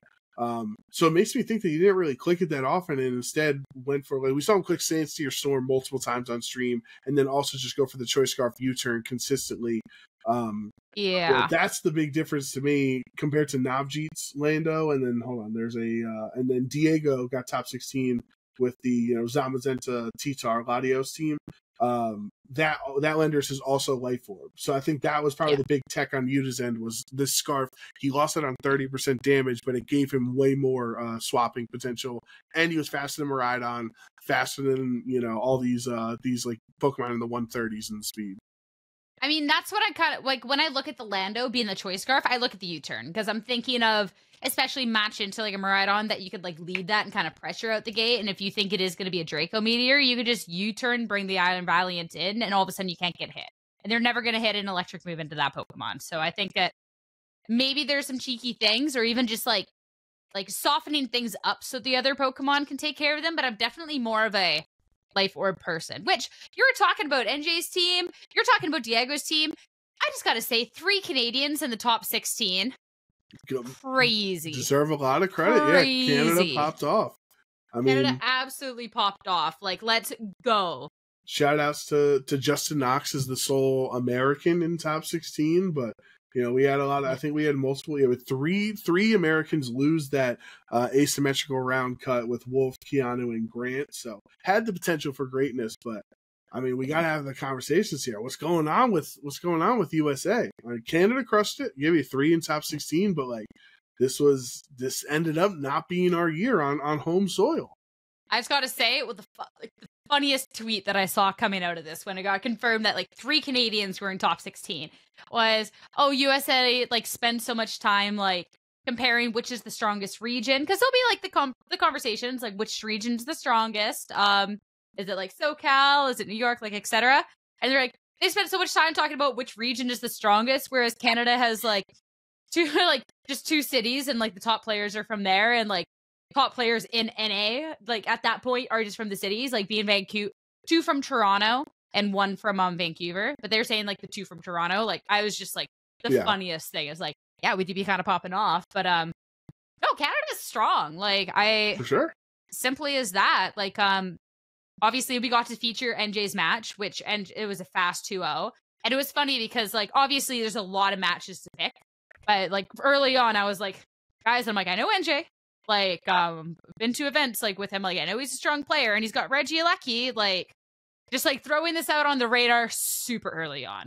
And then he top eights. Yeah. it's just kind of one of those like it was funny to like have called it. Um Kylan actually beat Wolfe in the uh that first round of Swiss, which was like the significance of that um there's a team canada like discord obviously just all the canadians but they just had like somebody was streaming their match off their phone and everyone hopped in the discord to watch that match going off off of somebody's phone just kind of going off like the side stream which i think was really really cool to see kind of all of canada come together for that so it was a uh, canada canada was doing good maybe we didn't win the event but you know we're all we're all proud of our remember, Canadians there. Uh, I remember when we were hanging out with NJ on Monday. I came to him. I was like, "Hey, you know, at the start of the weekend, it's all Wolfe. It's all USA, baby. It's you know all this all this American pride. And by the end of the weekend, with how great Canada did, North America supremacy, baby. NA coming together, top cutting world. You know what it is." I we I called that. Lose. I no no I called that out after like after your last American representation got knocked out. And um, I was like, the Americans are going to start claiming us now. I'm like, this is not allowed. Like this, I didn't say it on broadcast. It was backstage. Yeah, yeah. But like having that discussion because obviously that was a huge discussion point for us. Was like Kylan knocking out Wolfe. Um, I was like, don't you guys dare go like trying to claim Canada. Like absolutely not, because I, I, I know you. I know North you. America with three three top top sixteen. You know we're we're great as a as mm. a as a continent. Yeah. Okay. Yeah. Okay. Okay. But yeah, that was that was a little bit cool. It was also cool. Um, I did end up doing two interviews on the um Saturday because um Lou got injured. Um, but originally I was only slated to do one interview, and it was so funny that the one round we pull a Canadian is the one round because I didn't I didn't have any decision making in this. Normally, like everyone will chat, but kind of preference goes to who's casting. I didn't have any decision making, but it was so funny. The one round I interview, they pull the Canadian, the Canadian wins. So I got to interview, got to interview my friend. so yeah, there's my there's my Canada um propaganda. But I thought that was a uh, like that was a that was a cool that was a cool moment. Seeing everyone like freaking out in the Discord about NJ winning and freaking out over Kylan winning. We didn't get to see Diego's matches, but everyone was super proud of Diego as well. It's just like it was a cool thing. Um.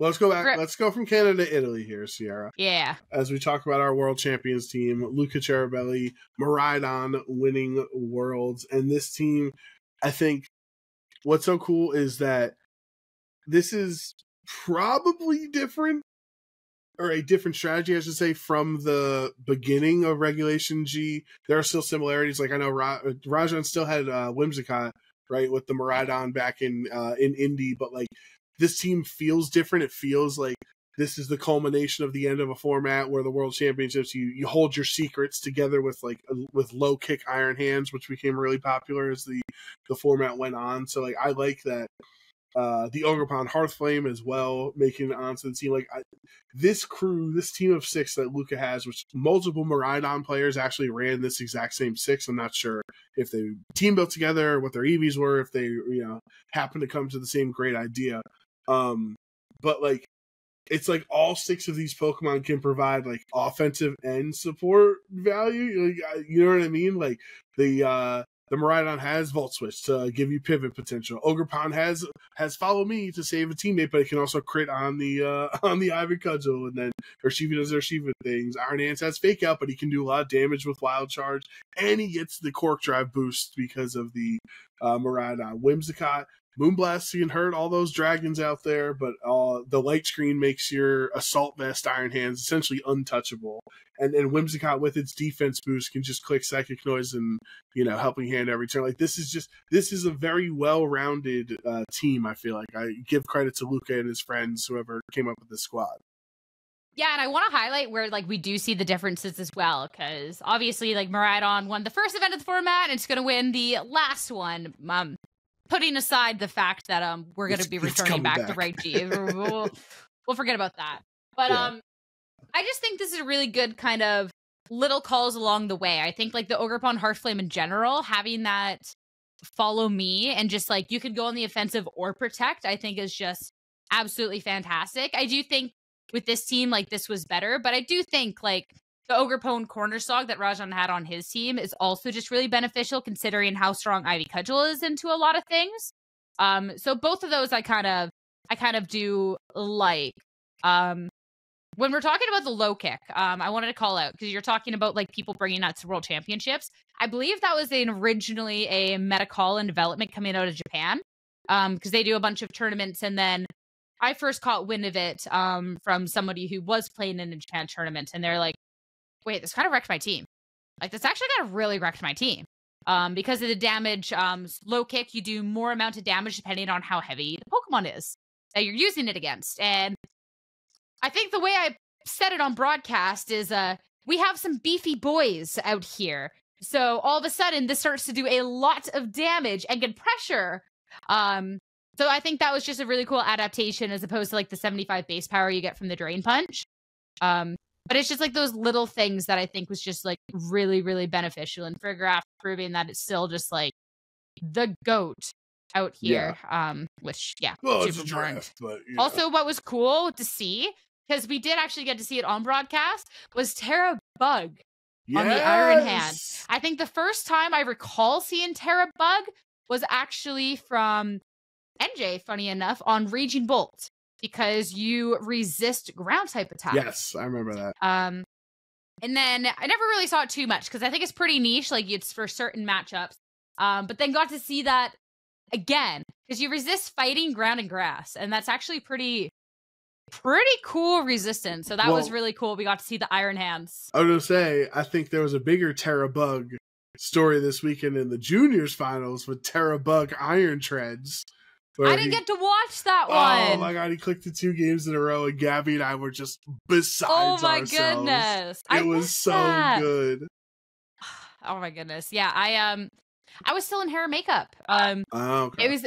They were actually like she had just started my hair, and the talent manager came out and they shoot. They're like, "We need Sierra out of the chair in five minutes," and like they're like, "No," and then uh, like they're like, "Get over here!" So they had somebody like one person doing each side of my hair to try and get it done at ASAP, which was really funny. Um, what? I didn't. I'll have to go back and watch that match. I wanted to go back and like watch it anyways, but that's funny. You could, you could do a, a rewatch with your stream.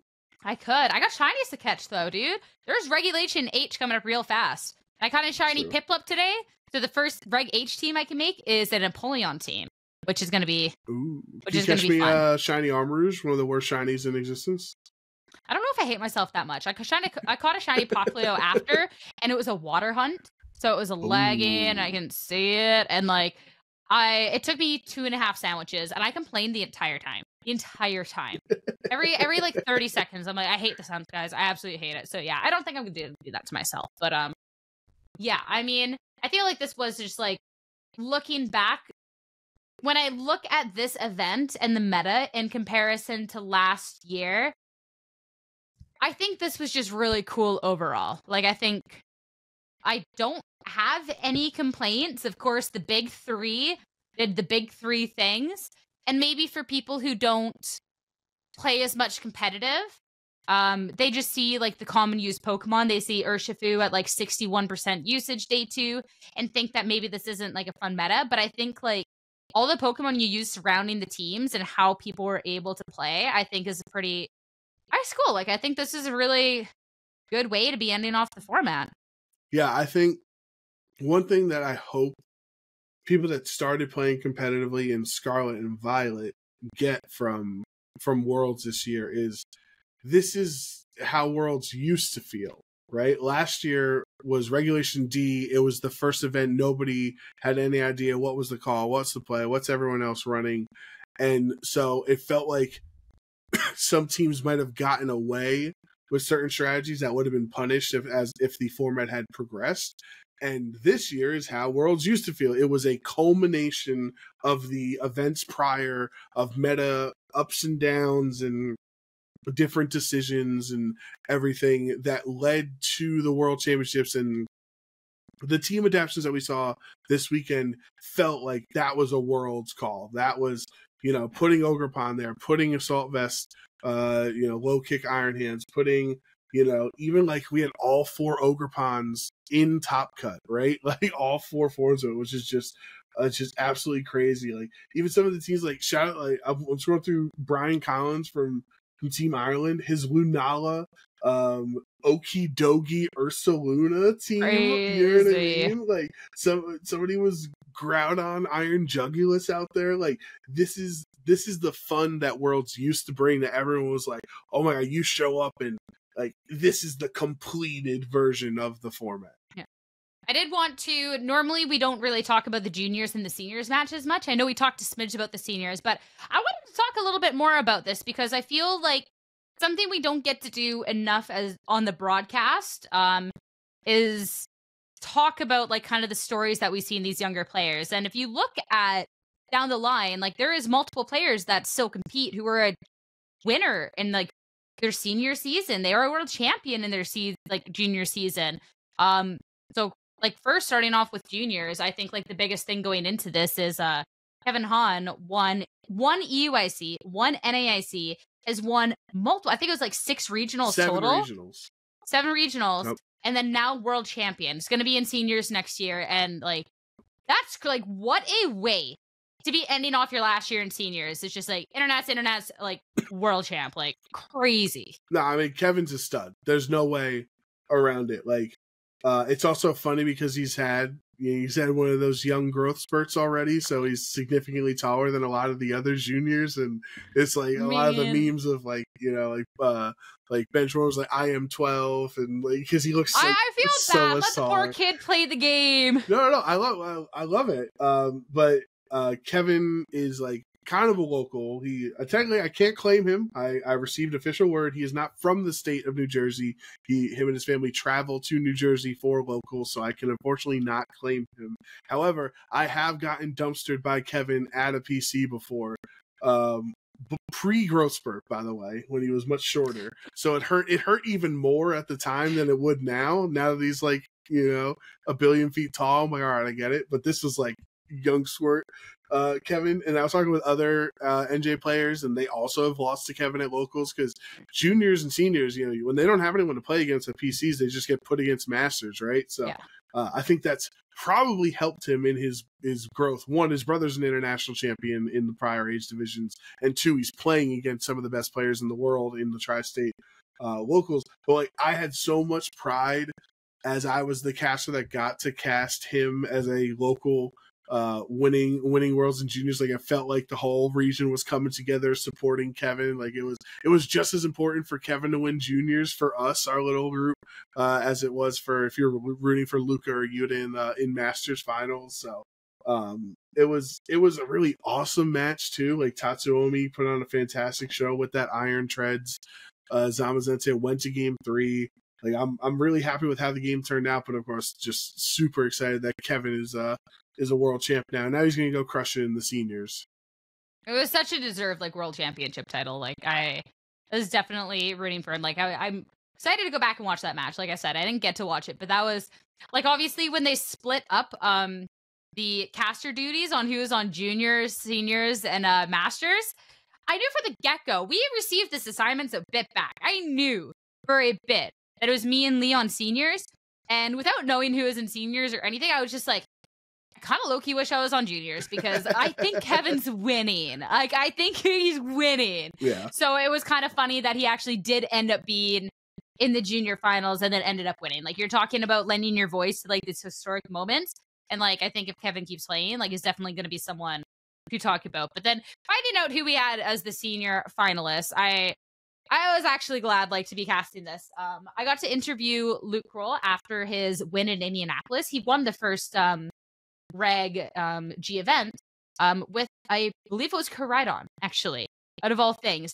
And I've attended locals where Luke has been at and we've played. So it was kind of like, yo, like it was, it was really, really cool. So seeing that match, I obviously when there is the Draco Miss game three, unfortunately, I think a lot of people like to hyper focus that in on, on that on the match. Mm-hmm. But like Ray and Luke both played like phenomenal. And I think it was just like a really good match overall. Like I think we got really lucky with our final matches as well. Sometimes Sometimes Yeah, they can be little clunkers on Championship Somet- Sunday. sometimes it's the LAIC finals where it's a fast 2-0, you know, like sometimes it be like that, but we got really really good matches across the board. So it was like cool because Ray's only started playing um in this generation of Pokemon. And Luke as well, I think, has been playing since 22. So both fairly new players. Um, and Luke, this is his final year in seniors, I believe, before he up to masters next year. So an internet's win, second at worlds, like that'll be that'll be cool to see what he gets to do in his rookie season next Well, year. you wanna you wanna hear some uh, some behind the scenes lore about the juniors match? So Oh, no. uh, Gary and I we got to meet with the the players and their family um, before like while TCG Masters finals are going on. Right, there's a translator there. Obviously, um, you know I'd seen Kevin and Chris and his and his mom, and I was talking to them saying hi. Uh, out of legitimately nowhere, Sierra. Gabby just starts speaking Japanese and having a conversation with Tatsuomi.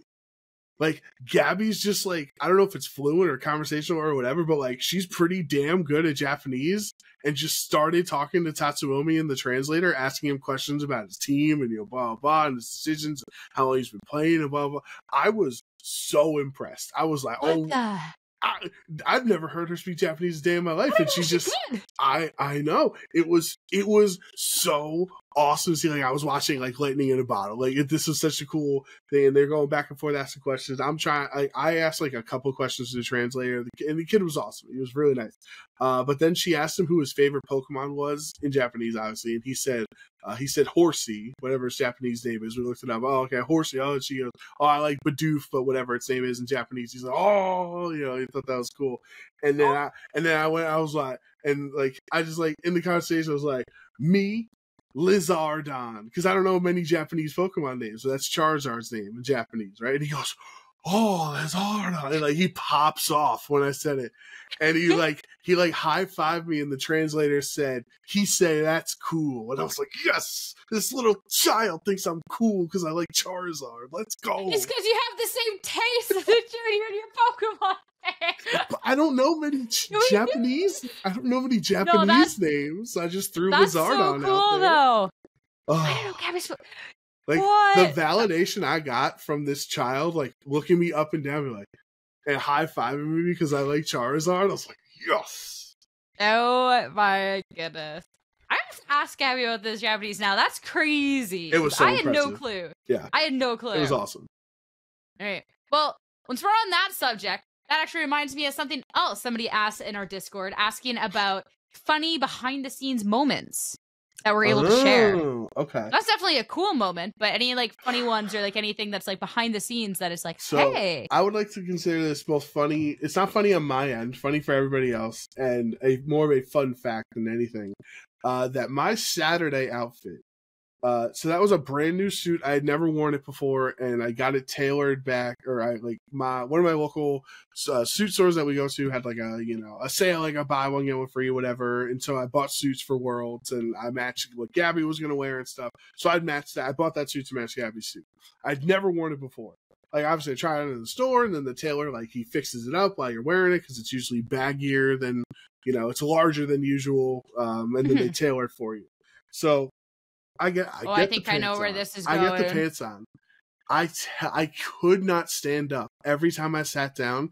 These they were going to split in half. The the legs were so tight that like I was stuck on the couch at one point. Like I was sitting next to to Zoinks from the Unite team and uh, Kyle Sablehaus on my other side, and I was like, "Boys, I'm gonna need help getting up because like I literally was like snake off the couch to like try to get the pad because I could not bend the bottom half of my body because the legs were so tight that it would, if I did it would have split. Like I asked Zoinks to charge my phone once because I couldn't reach the thing, and he was just like, "Oh, okay." Like he, I was like, "I'm in pain, bro. I cannot. I, I'm a, I'm like a girl in a skin tight dress right now. Like I cannot move my legs to save my leg." But nobody noticed on broadcast because you know I'm sitting down and we're standing we're standing off camera but like that's my fun behind the scenes story is like saturday i i was like a girl wearing heels for the first time like i could not move Oh my god, that's actually.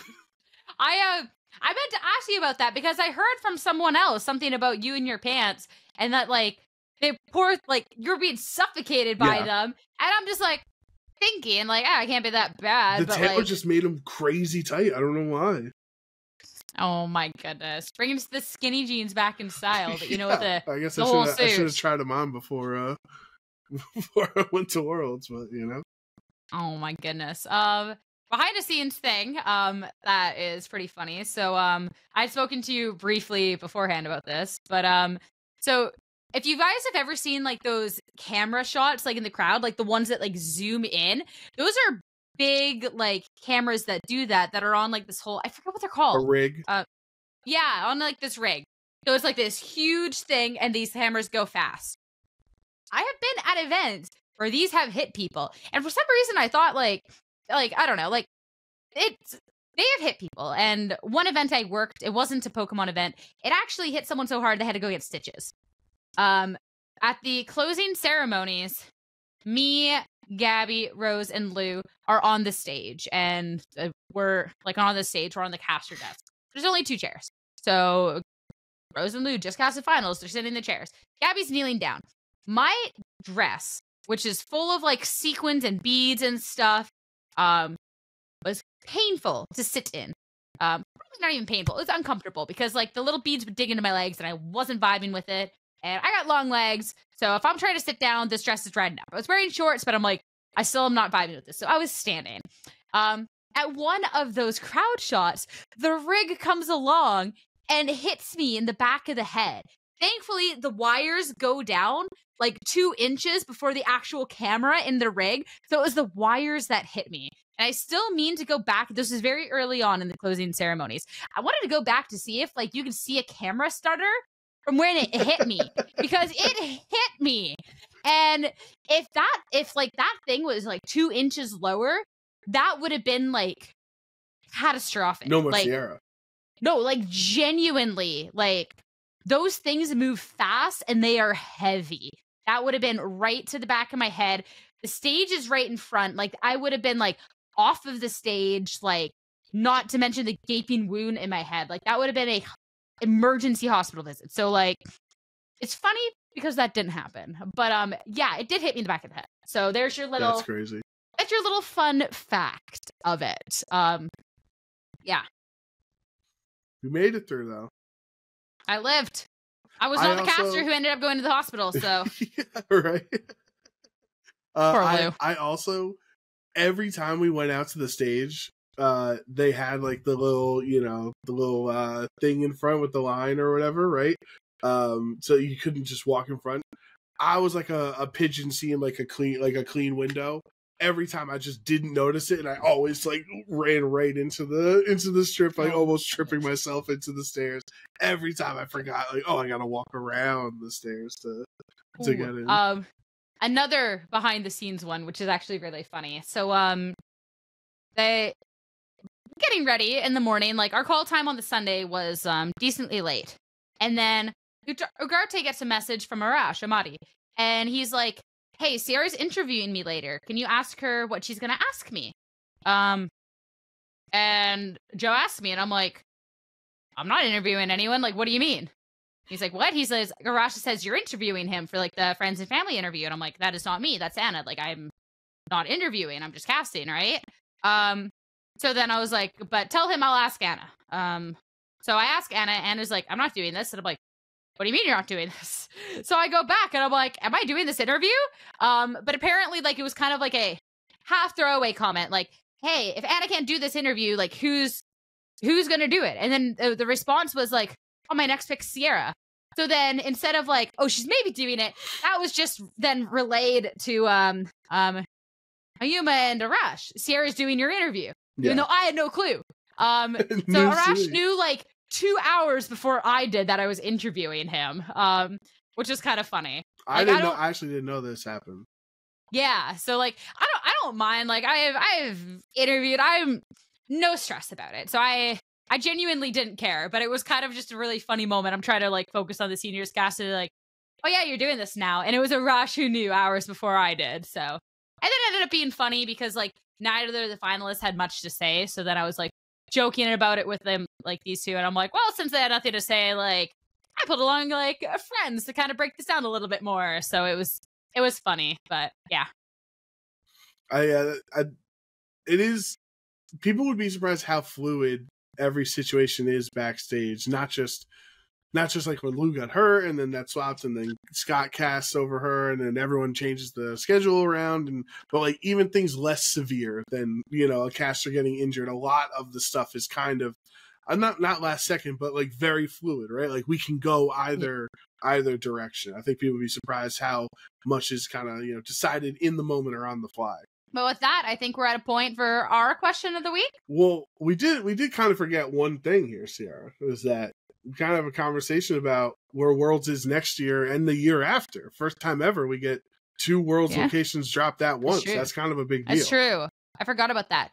Um, so first off, no Legends Z-A announcement. Not surprised, Not but I will just say, like, not surprised, but still sad. Um, Worlds Anaheim. I mean, I didn't go to the last Anaheim Worlds, and whatever. Like, I don't. I thought it was I'm LA. very- I when the when the the graphics know. started, I thought it was going to be LA. I'm very indifferent, is I think the best way to put it. I kind of had the expectation after Yokohama that there wasn't going to be anywhere too crazy for a little bit. Um, I think Honolulu kind of was like is still like a little bit difficult to put together. Um, I think like the San Fran, like the Anaheim then San Fran, I think is a little like odd. The fact that they announced it, I think, is hilarious. I mean, you have to, right? Yeah, yeah, like yeah. we all we all saw the article, but um, I don't know. I think indifferent is the best way to put it. I'm. What's nice is that regardless of whether I am on the casting team or not for next year, um, Anaheim is in a is a event that I could still go to. It is still across the country, but I wasn't going to go to Hawaii, for example, Right. if I wasn't casting. I there was just it was too too much of a travel. It was too expensive. It's not happening. Anaheim and San Francisco, like I can do it. So that part is like nice, but on like a oh this is like cool. It's just kind of like eh, whatever. It'll be fun because it's worlds, but I don't really care about the location itself.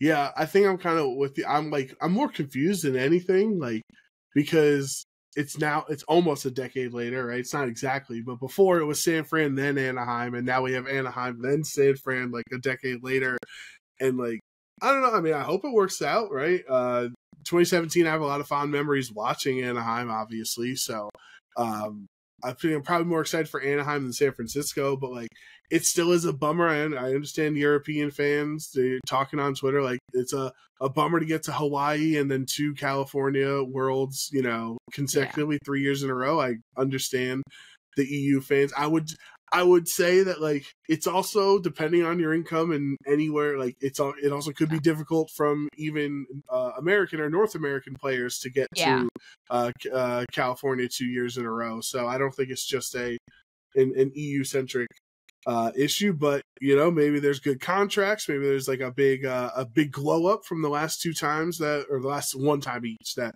uh, we've been there. So I was just more confused because like I thought it was LA when the graphic started, and then it said Anaheim. So it's not like I was bummed. I was just like, oh, okay. I don't know, you know, I don't know the landmarks as well as I uh as a, as I thought I did. But yeah. See, like the one thing is, is like where I was disappointed is. I thought it was going to be Nashville, and I have been to Nashville. Nashville is my first world, actually. But I was excited for that. Even if it was a repeat world, I was actually really excited about the prospect of Nashville. And if it was somewhere we hadn't been, like as a world, I was excited for it. But then Anaheim was just kind of like, oh, I guess it's cool because I haven't been there. But yeah. beyond that, it's just kind of like, ah, like I don't, I don't know. The only cool, like the only part that I'm excited about is um, actually invited my family and specifically my mom to the World Championships in Hawaii. Um, and she is like messaging me on like the Sunday and afterwards, being like, you know what, like she didn't end up going. And she's like, I really regret not going. Like, I actually really wish that I went. And I was like, she's West Coast Canada. So I was like, good news. It's at Anaheim next year. Like, it's a very doable trip right. for her. So, like, on a very like specific situation, like, I'm excited because like I don't know if the rest of my family will go, if it'll just be my mom. Um, probably like casual enough fans. Like my mom always asked her to bring her like stuff back for her. Yeah. Um, she plays her Pokemon Go, right? So yeah, that's kind of like a yo, like my mom, maybe my sisters will be there next year. Like that'll be that'd be cool if they can make it. So also like I don't want to be technical guy over here. It seems to be my my thing, but like people can play all oh three in America in a row. Like Hawaii was also hard for a lot of Americans to to get to with you know prices and and things. Yeah. We actually for other reasons, other people didn't go to Hawaii. So like I don't think I don't think we should count oh three American worlds in a row. Like Hawaii's kind of destination. It's kind of it is yes it is America, but like I don't think it counts the same as San Francisco. You know, it's it's like the people who are saying that obviously Hawaii was more difficult to get to. Like I don't think it's easy one for Americans to get to but it was even more difficult for like Europeans. Absolutely. So it's, it's like very difficult to get to. Yeah. So like I could see where the gripe is because you're definitely not wrong that it wasn't an easy event to get to for anyone. Um, but when you're looking at the people who then like the travel is absolutely absurd yeah. over like just slightly absurd, you know, I could understand like where the complaint in, especially it too, since it is Hawaii West Coast West Coast. It's like at least if it was East Coast, like yeah, flights into like the East Coast um airports aren't that long. Like it's about the same for me to get to Europe as it is for West Coast. Like it's actually pretty okay, but I can understand it's like Hawaii, West Coast, West Coast, like really like that kind of yeah. kind of does suck for people who travel more. It was funny though seeing the uh, Australians who usually have the worst travel possible for everything. And they're like, I think one of the shows I talked to, I think it was like just a nine hour flight or something, right? And yeah, there's like, oh like yeah, just a quick hours? little nine hours, like compared to 21 hours or, or, or whatever. Mm, oh my goodness. Yeah. But we'll see. I'd love to know like people's thoughts about it, but like at least for people on West Coast and like West Coast, like a lot of times, like maybe don't have the event, best event draw. Like I moved to, like I moved out to Ontario back when events were a little bit more self like seldom, but like trying to travel out from Vancouver kind of sucked and was super expensive across the board, which is where I wanted to then move to where it was easier for me to get to Pokemon events. So, you know what? Kudos, kudos on the West Coasters. That's yeah. all. All right. Question of the week. Now time? we're ready. Yeah, now we're ready. How can I forget, right? All right. Do you remember the question of the week was? You're the one who picked it. What? This is news to me. What are we talking about? Hold on. Hold on. I thought you I picked it. the question of the week. I thought so. I thought we were just like pulling general questions from the from our question of the week Discord channel, and we were just kind of answering. We actually them like kind we... of kind of like answered a good amount to we, them oh, like wait, during. We got one we didn't answer technically. technically Leafy Arrows question. Do you see this one? We technically didn't I was actually that. I was actually thinking of that question. Funny enough. All right, so go, um, go with that one. Go with that one. All right. So this question coming out from Leafy Arrow: What Pokemon do you most look forward to trying in Reg H? Because yeah, new regulation times. So Yeah, we'll definitely talk more about Reg H next week and the new, you know, the new information that dropped this week as well on, you know, CP standings and, you know, whatever. Um, but like Pokemon, like I, I don't wanna I don't want to be basic and say Archaludon. Like I liked Archaludon in Regulation G. I had used it couple times with some uh some on uh, Battle Stadium, uh, like this Kyogre Archaludon team that was really fun. Um, but now it's like it went from like a cool Pokemon that I like because it was low usage to now it's super popular. So now I can't enjoy. Good. it. Yeah, I got to be the hipster about it. Uh, so Of I can't- course. I can't say Archaludon. Um, I mean, Armarouge is slightly back. I still don't think it's that great uh, as it used to be, but I think it's more popular now. Um, I, I'm gonna say like either Meowscarada or this. I've been hearing. I've been hearing talk Sierra. The the streets are talking. People are saying that Hisu- what are the streets saying? Hisuian Decidueye kind of slaps in this format. I have not actually seen it because I've not done any Reg H testing whatsoever. But from some of my friends I've talked to, they say Hisuian Decidueye kind of a big deal. So that would be Okay. like the first time ever Hisuian Decidueye is relevant. So I would, uh I guess I'm I'm gonna be excited to try that Pokemon out. Okay, okay. I'd be I'd be intrigued. I haven't I haven't got to do too much with Rage so far. So the first one that I'm excited to try out is Empoleon. Like I I don't know if I mentioned it before the podcast or like during the podcast, but um Both. I've been shiny hunting. Okay, perfect. Um, even better. Um, shiny hunting some Pokemon for Reg H, and it just so happened there was a Piplup outbreak. Um, so I was like, you know what, I'm gonna I'm gonna grab this. But Ugarte has so graciously um said that he would help me build some teams, and by help me, I mean he would build them and I would play them. And so he's built me an Empoleon team while we were recording the podcast because I caught the shiny Piplup There you so go. that'll be fun because I'm gonna like uh, make rental for it and like make a YouTube video about it and hope that it's good. And like Joe normally makes good teams, so that'll be super exciting. And then like on an actual note, like I'm excited for like Volcarona. Obviously, you know, Okay. modern modern day Slitherwing, but Volcarona in general is just like super strong. So it should be it should be good in this format. So I'm excited. Uh, speaking of rentals, shout outs to Magi for Yes, doing what we couldn't, which is making a rental code Thanks, of our. Lunala team. So uh You're the best. anyone wants that for any uh premiere challenges they have in the next two weeks, yeah, more than welcome to DM Magi and get the team there. But uh I guess we'll like repost it at the beginning of regulation G next Yeah. year when that comes back. So you'll Yeah. you can You'll use have a that team right yeah. from the get go. Exactly. Perfect. Um, but for that, I know um you should rest your voice. Yeah. Um, so we are gonna wrap and this was a long episode, even though we didn't think it was gonna be that long. So we're gonna wrap this up now. But thank you all so much for all the support on the first year of the podcast, because this is uh yeah, this uh other world championships done. So thank you all so much. We'll see you all in the Discord. We'll see you all next week. We hope you enjoyed this episode of OHKO. We'll see you real soon.